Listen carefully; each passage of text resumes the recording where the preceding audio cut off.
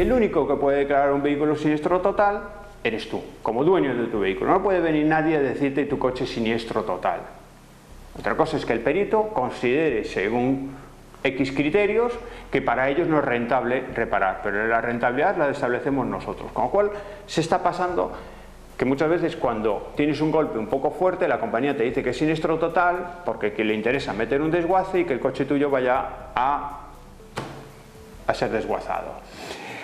Tiene dos ventajas la compañía de seguros. Primero, te va a pagar menos de lo que tendría que indemnizarte si reparas el coche, porque una parte la paga el desguace. Y además, rescinde la póliza. Y la rescinde sin comunicártelo.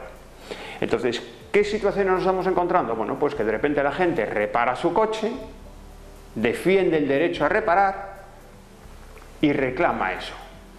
Nosotros, los últimos casos que hemos tenido, en todos ha pasado lo mismo. Se ha reclamado, se ha conseguido ganar en juzgado que la compañía contraria tenga que pagar al cliente los daños ocasionados y ¿qué hizo su propia compañía? Pues de forma unilateral, sin avisarle, cancela la póliza. Entonces el cliente circula por la carretera y de repente un día le para la Guardia Civil y le dice que mire usted, según el FIBA, que es el fichero electrónico de vehículos a motor, usted no está asegurado. El cliente dice, ¿cómo que no? Hoy en día prácticamente todos tienen, tienen, una app que puedes acceder a tu banco. El último cliente nuestro que nos vino este, esta semana pasada me dice, mira, me pasó esto, yo le enseñé a la gente esto y me dijo a la gente, no te preocupes, tú presentas esto, haces la alegación y deberían de retirarla. Pero de entrada tiene 1.500 euros de multa, que si tú no haces alegación son 750.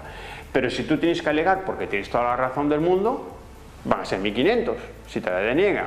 Entonces entramos en una bucle donde te lo ha generado toda tu compañía de seguros, que no hace esa visa y que evidentemente tienes toda la razón para repercutir esa multa a tu compañía de seguros.